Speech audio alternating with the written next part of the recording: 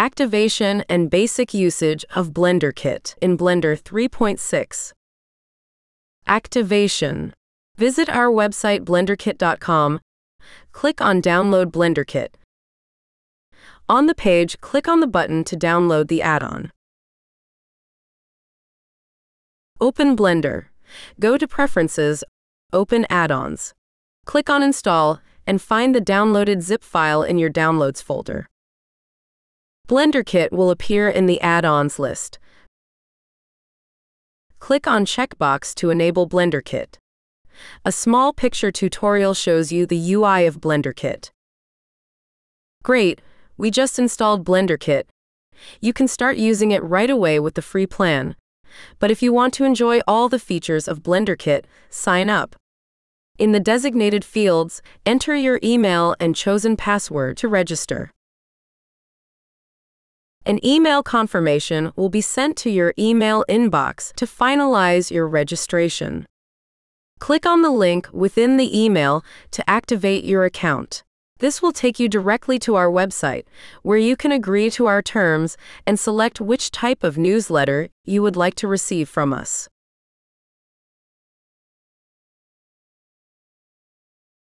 Account and Login You can log in in the sidebar or in the add-on preferences. Click on Login. This will automatically take you to our website where you will enter your login information, email and password. By confirming login and authorize, you are done. User Interface, Header a sidebar. The Blender Kit add-on can be found in two places in the 3D viewport. At the top in the header, and in the sidebar, which you open with the shortcut N in the Blender Kit tab. In the header, you'll find quick access to search and browse assets. And in the sidebar, you'll find the same but also other things you'll need less often, like upload, login, and import settings.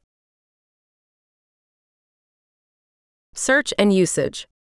Let's start with the search from the header.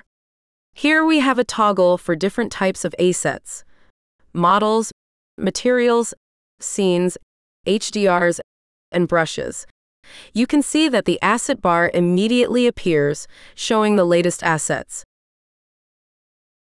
We can show or hide it at any time with the eye icon. In the middle is a search field where we enter a search. To the right of it are bookmarks, categories, and search filters.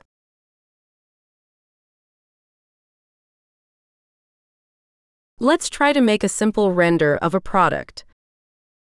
I'm going to go into scenes and try to find a product placement scene. Maybe this scene looks pretty natural. I can click or drag it to download it. It'll pop up if I want to append the scene. Note that the download is non-blocking, so I can keep working. Once the scene is downloaded, I can switch to render mode and see the result if I have a newer graphics card. Let's try to find some product in the models. Maybe a figure. This bird looks cool. I can right click on it and see more information. Among other things, I can search for similar models. I can rate or comment on the model.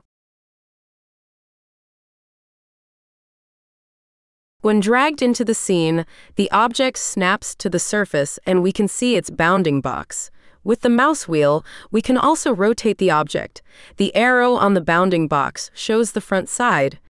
As soon as I place the model, the download starts. I can then adjust the model to fit the composition. Let's try changing some material, like the wood of the windowsill. I'll go into the materials and search for some dark wood, but more glossy than what's in the scene. Dragging it onto the object will pull the material straight into the correct material slot.